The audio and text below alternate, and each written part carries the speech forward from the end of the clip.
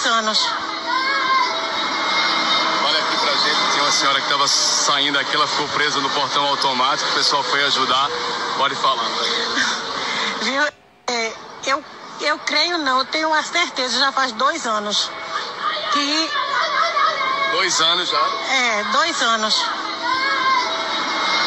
Olha aqui pra gente, tinha uma senhora que estava saindo aqui, ela ficou presa no portão automático, o pessoal foi ajudar. Pode falar. Viu?